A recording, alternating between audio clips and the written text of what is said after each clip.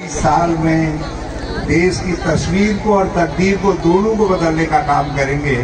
ऐसे हमारे दीपेंद्र सिंह हुड्डा जी, जरा एक बार मेरे, मेरी तरफ़ से जरा इनके लिए ताली बजाइए। हमारे क्योंकि हमारे दीपेंद्र के बाद जीतने की बूटी है। ये तो मोदी जी थे, जरा गड़बड़ करके हेराफेरी करके कहीं तो ये सांसद होते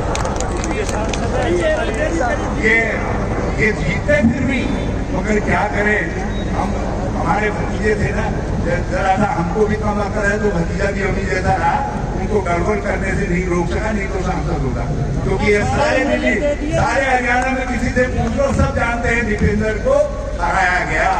तो आज दीपेंद्र के हार का भी बदला लेना है और सोमेश को विधानसभा में भेजना